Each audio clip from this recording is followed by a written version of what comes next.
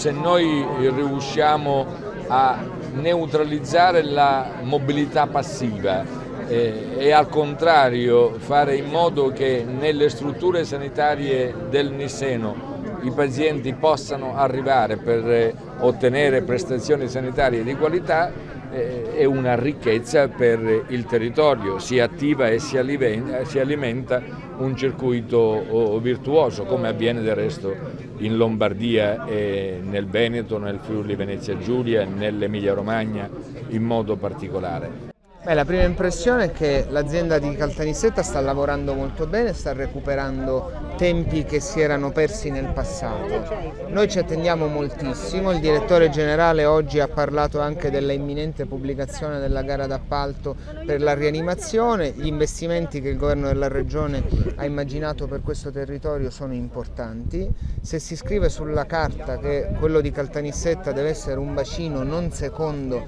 a nessuna delle aree metropolitane, poi occorrono dei fatti e quelli li stiamo realizzando in maniera adeguata.